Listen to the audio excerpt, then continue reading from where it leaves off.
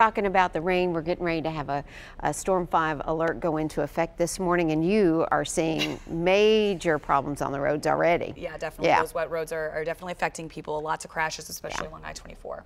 All right, some yeah. some issues there, yeah. Yeah, so we'll continue to watch mm -hmm. that mm-hmm. right now. The Storm 5 alert will go into effect at 8 o'clock this morning. That's when the threat begins to pick up for some stronger storms, although we put it in early at 8 o'clock because of some flash flooding, and then late this morning into the afternoon is when the severe weather threat picks up. Let's show you what is happening right now for today. Area rain and thunderstorms across the Mid-South for us out there. Southern counties in the 60s today, northern counties in the 50s, and you can see that temp spread with our exclusive Skynet cameras there. Hopkinsville 39. This is real time information right now. 39 uh, in Hopkinsville, Clarksville 41, Lawrenceburg 62, but right at 50 out of Gallatin and Dickson. So with this setup for us today, we run the risk of a couple of stronger thunderstorms with damaging wind gusts. Winds may be up to about 60 miles per hour. Some localized flooding out there. We had a flash flood warning earlier over in the central part of Sumner County.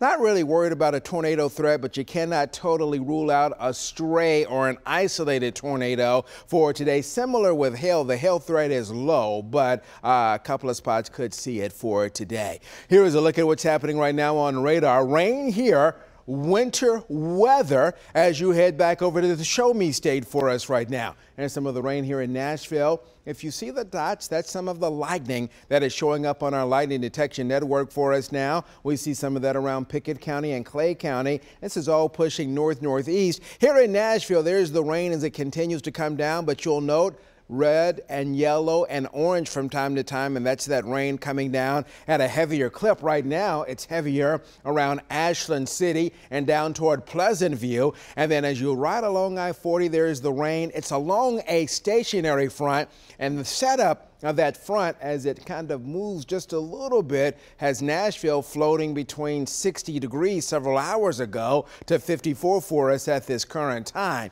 Later today, the whole system pulls through bringing the severe weather threat the threat greater south of us, but we'll watch along I-40 and especially late this morning into the afternoon when we could see some strong wind gusts, damaging wind gusts out there later today. But here's exact track bringing areas of rain over the mid-south and along the front itself. Here comes the cold front. See that line right there? That's the cold front coming in the afternoon hours. That's when that threat for a few stronger storms will pick up into the eastern counties that pulls out of here, but by tomorrow morning, there may be even a couple of passing snowflakes in parts of the mid-state area.